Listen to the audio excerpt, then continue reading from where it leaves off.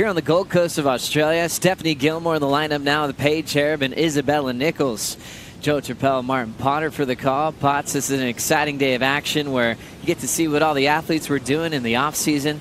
It comes clear on even their opening ride how ready they are to compete in 2019. So looking at the conditions at D-Bah looks really rippable, a little bit more organized from yesterday. Steph Gilmore, the local, drawing that beautiful carve. Hits it off the lip. Here comes the wrapping cut back for Gilmore looking for an inside connection.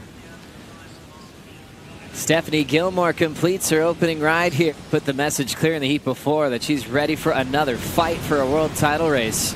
How's that first swoop, Potts? Beautiful. I mean, trademark stuff from uh, Stephanie Gilmore. As uh, this wave kind of gets a little bit of white water on the inside, finishes off strong.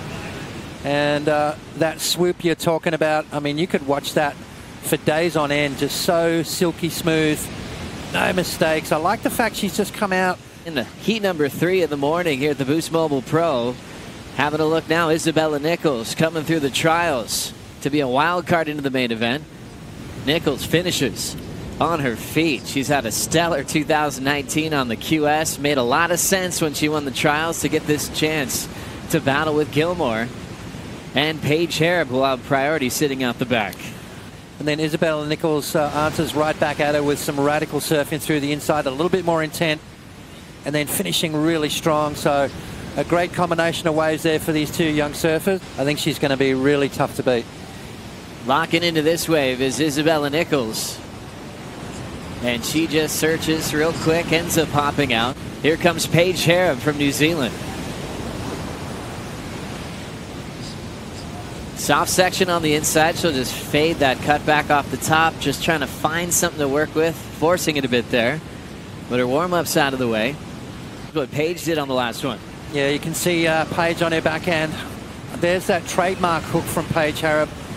She has got that maneuver on lockdown, but the wave kind of let her down through the inside, Joe. Goes a little fat, a little slopey, and it really doesn't give her that vertical face to capitalize on. Being those goofy footers. So dynamic with her approach, so stylish. Hitting that first section off the lip is Isabella Nichols incomplete. Very impressed with Isabella's first ride, Joe. So just a point off of Gilmore. Fun looking wedge for Stephanie Gilmore. Almost thought she was going to pull in under the hood. That one's just going to end up short. She'll kick out. But when you just dream of surfing a beach break, you want it to look like this. The color yeah. of the water, how warm it is. Little A-frame peaks, peaks popping up. We're scoring D-Bah today. Catching up with Rosie Hodge, that microphone soaking wet going through sets. But Rosie really inspired by the next generation as we see a top turn from Paige Hareb on the back end. A little bit more open face now. Two clean carves and she's out. Hareb had the 267 on her opener. That'll be her second scoring ride. Isabella Nichols with that six is still second. But you want to be in the top two in these opening round heats. So you're going straight into round three action. She's had such an incredible year on the 6,000 rated qualifying series events. Back to back finals from Newcastle down to Manly Beach. Here comes Isabella rolling in. First turn, throws it up vertically, and she'll hammer oh. that whitewater section. Interesting with that climbing maneuver, Pot. Sometimes it looks really easy to read, and other times you could go flying to the heavens. Yeah, well, it's a 50-50 in it. I mean, it's a, a tricky maneuver to finish off with. Right down towards the left-hand bottom part of your screen, and the waves seem to be all up the top. Very interesting here for Steph Gilmore being the local. Paige with the windup. Clean arc to start on the backhand. Another wrapping cutback for Hareb. Jams it off the lip, showing some power on that third move. And now playing with a little inside reform.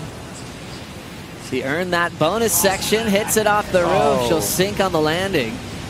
But a few solid turns before, looking like her best wave so far. Needs a 4-4-1 for second. A beautiful piece of water. Nice late drop, and there's that big carving maneuver in the pocket. And another one, so bringing it all the way back around on the inside. Nice combination of maneuvers, looking really strong. And then really needed this end section to uh, cooperate to get that big score, but just kind of sinking on that last maneuver. But definitely Paige's best wave.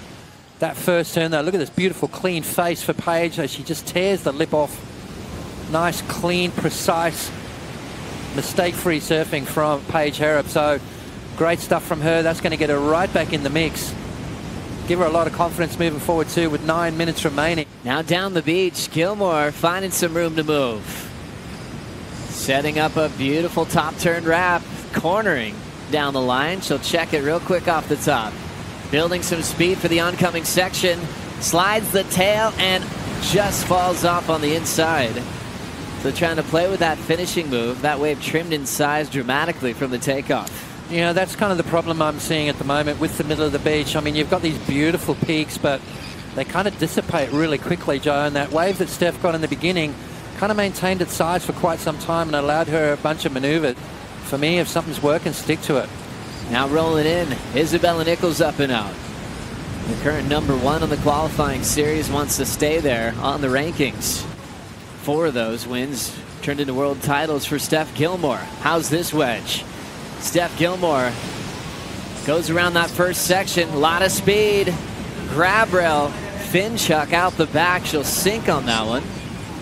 But now it's fun. It's an official debut. You know you're going to have the entire season to battle with the world's best. And you have to be used to calling yourself one of the world's best as well. Hennessy up next. We'll watch Isabella on this one. Couple of clean top turns.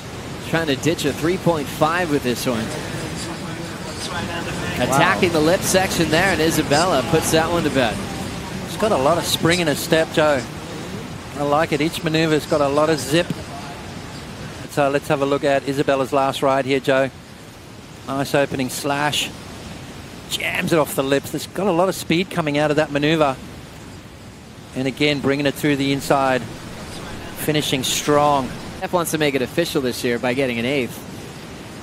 But she was able to pass Layne last season on the all-time win list. Rolling down the line and oh. pulling Oh. into that first section in the barrel. Gilmore gets clipped. Oh, well, Duranbah very famous for the tube ride, but today the swell not really producing the power. Get to understand the ins and outs of uh, what's going on, but DH seems like he's nailed it with the, with the equipment this year. Well, Isabella just took the lead with a 5.6 as she ends up going down on the back end turn. With now 90 seconds on the clock. Steph just needing a 4.5 for the lead. Paige trying to get out of trouble here in third. She'll hop out of there. Gilmore feeling the pressure. Everyone wants to avoid round two, and that's where Paige is sitting, only needing a 4.91. Steph with priority will take this wave. Not much on offer for Gilmore, and she's going to Oh. have to step off. Left chasing a 4.6 for the lead. Going to move through the round three, but I don't think she's going to be very happy with the back part of that heat. Starting incredibly well with the seven, and then for some reason moved down to the middle of the beach. And since then, really struggled to get a good wave, Joe. Isabella Nichols taking out the trials. Number one on the QS takes a big win.